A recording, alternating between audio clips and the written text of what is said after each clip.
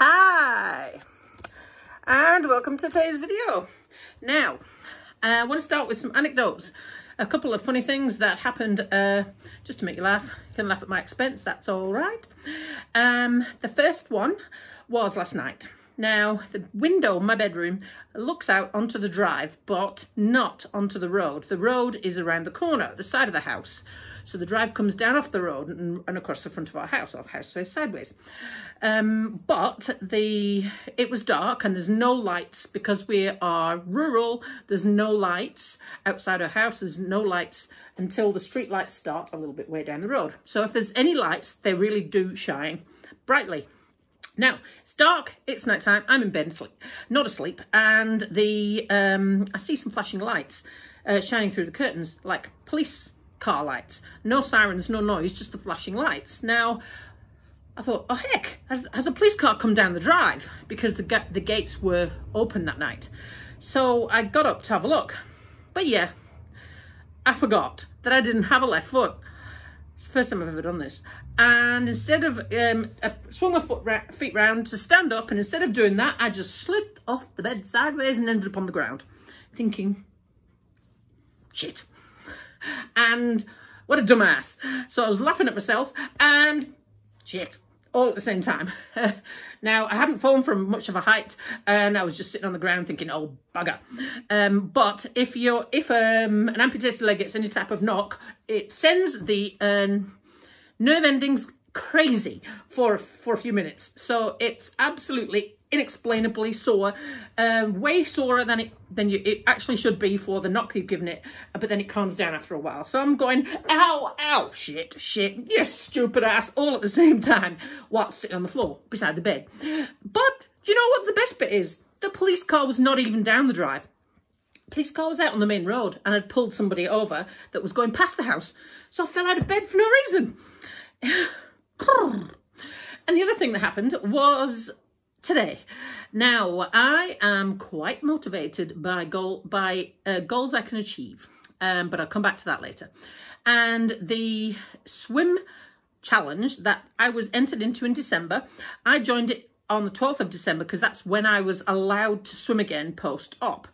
And the swim challenge has been going on for the whole of December and it auto updates from your Garmin into uh, the challenge leader, leaders board. So you can't fiddle it um, because it goes off your Garmin data. Um, so I started um, 12 days behind everybody else and had some catching up to do. But I like swimming and it was a good motivator to get me back into the pool again, having not been able to swim consistently for almost a year. So I got to the end of December and was in third place, just 9,000 metres behind the leader and only one and a half thousand metres behind second place.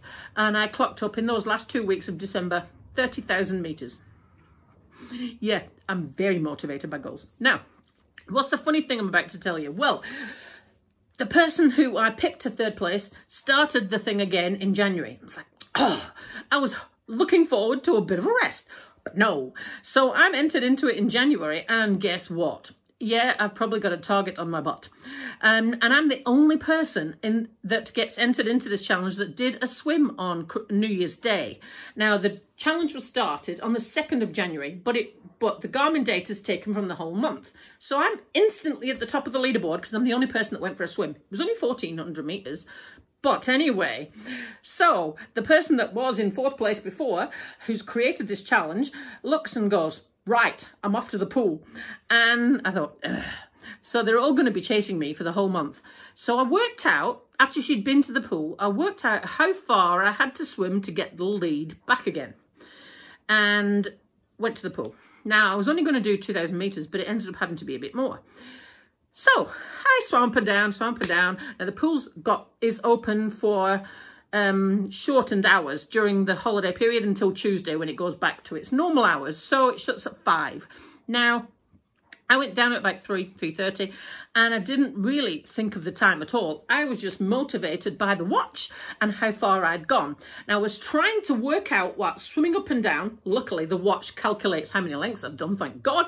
And I was swimming up and down trying to work out how far I had to go to get ahead of her, how far I had to go to get a thousand meters ahead of her and all this sort of thing.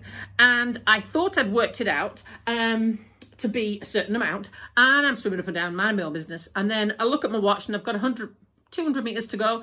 And I look up at the clock and it's five to closing time. It's like, oh! I hadn't even noticed there was no one in the pool. So I looked quickly around to see if there was two kids still jumping in. So I thought, okay, I'll do another 100 meters. I thought it might be pushing it for another 200, but another four lengths, for two, another 100 meters, that's fine. So I was only 100 meters short of the um, time that I was, the amount I was hoping to do. But then I got shimmied out of the uh, pool and I did the fastest disabled changing room change I have ever done and brushed my hair in the car. and was out of the changing rooms and out of the pool faster than the kids that were still jumping in. So that was quite an achievement for somebody with one leg. And to finish it all off nicely, I got the leadership back, the leader back, uh, the lead back in the swim challenge, but I'm sure it won't be for long. anyway, that's what happened to me today. But what I want to talk to you actually eh, for, eh, about is how I managed to be so motivated despite being an amputee and one that was not uh, and, and, might be an elective amputee, but I was an amputee that was not expecting to be an amputee. And how do I stay so positive and motivated? That's what I want to talk to you about today.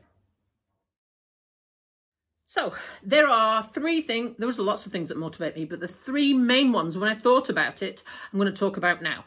So the they are, starting in no particular order, people that tell me I can't, although this is probably my biggest motivator. People that tell me I can't. So, for example, when I was younger, like 15 odd years ago, 15, 20 years ago, I was told women don't ride motorbikes. Well, do they not? So I got a bike license and bought um, um, a racing bike. No, uh, a sports bike, that's what I mean. Because somebody told me that, I, that women don't do that. I became a rugby referee because women didn't do that either. It's quite commonplace now, but it was not when I was in my 20s and 30s. So I went and did that as well. That's the sort of thing that motivates me. So what has motivated me being an amputee when I didn't even want to be an amputee? And that is people telling me I can't. So for example, I entered Challenge Wanaka in February uh, just about the time, if not just slightly before, the time that I had the amputation. I told the surgeon I was going to do this.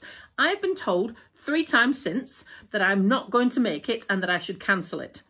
And all of those people I've said, Okay, and I w- and I've got to say I was quite concerned when I had the staph infection and how much delay it was putting on my swimming, but I did know that I could go into the pool a couple of times and knock out 2,000 metres because I had done it previously in between two other surgeries. So I was not that worried, but if I was still banned from swimming in January, then I was going to have to start thinking of a plan B, like ignore them and go anyway with a waterproof dressing.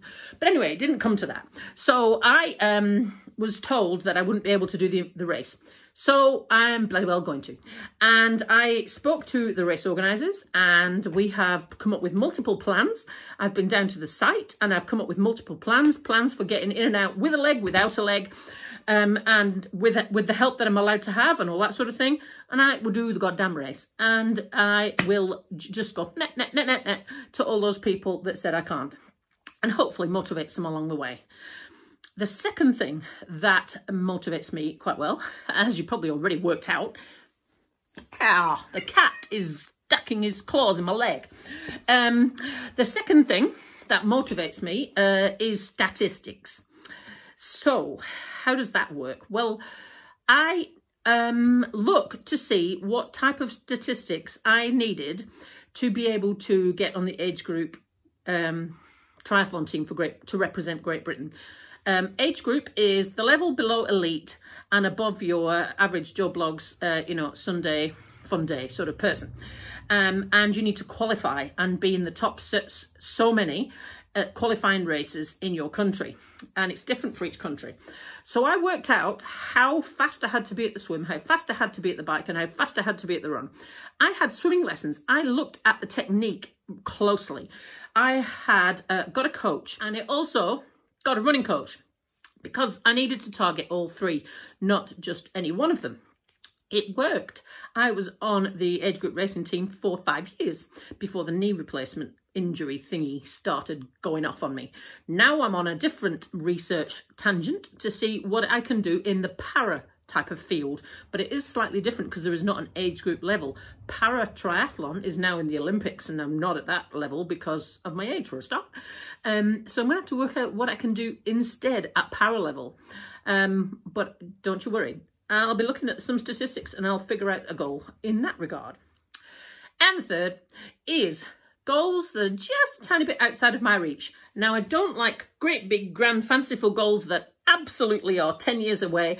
I just can't connect with those. But things that are just slightly, seem just slightly impossible, I quite like those sorts of goals. So, for example, the swimming challenge. Now, I know I can swim. Whether I can swim the same volume as everybody else is another question, but I know I can swim. So, I was very motivated by the swim challenge and already have been and went to the pool and did three and a half K today instead of two. But I'm also in a steps challenge, which absolutely doesn't motivate me at all because it's not something I can be competitive at. My steps are reliant on whether I've got a leg or not, how tired I am or not, whether I can um, stand up stand up on crutches or not. Um, I'm not sure if steps count if you're in a wheelchair, and it just doesn't motivate me at all. And I'm somewhere down at the bottom of the table uh, because I just can't be competitive. That's not something that I can influence. So I'm just not interested. So that's how it works with statistics for me. Um, if I can do it, and if it's something that's just it's out of my reach, and I've worked out the statistics and the scientific way of getting there, then that motivates me. So I also need to talk about the demotivators. Um, what demotivates me? Unachievable goals. Like I said, with this the steps challenge for for January, there's no way that I can be competitive at that. So I'm, I'm just totally not interested. That just doesn't interest me at all. Um, things that I just can't achieve. So I'm, I've got no control over how fast I will be able to get walking. I've got no control over how fast I can get the prosthetic leg fitting and made and back to me. I've got no control over that. So uh, there is no motivation for me to go walking or anything like that at all because it's not something I can control at all.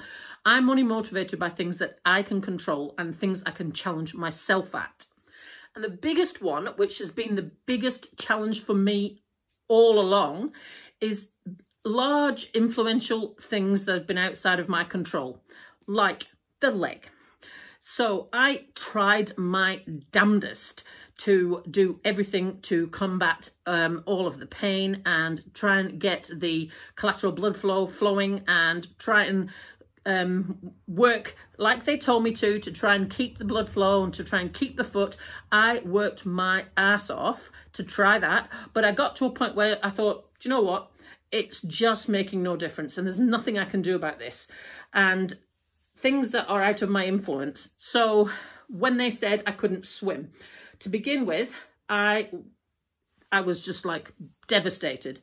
Then I worked out a way of cycling with one leg. It was not very um, motivating for me. I did not like it at all because it's really hard and puts too much stress on my right knee, the knee replacement. So as soon as I was able to swim, I stopped doing that.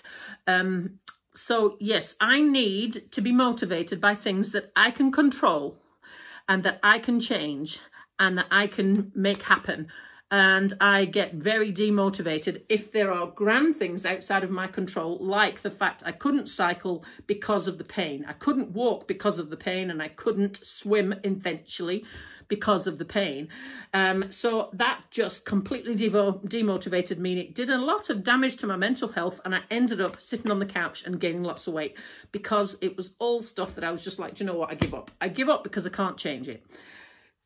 It's not necessarily a good thing and I have combated it in the end and it's something I really need to work hard at so it doesn't overcome me. But that is the things that demotivate me. So and I'm very clear on which are which. And as soon as I'm given some control back, bingo, I'm off, as you have seen. Uh, so the key for you for being able to make 2021 an awesome year on the back of the other day when I was talking about goals is knowing what motivates you and knowing what demotivates you and knowing what you can do about it.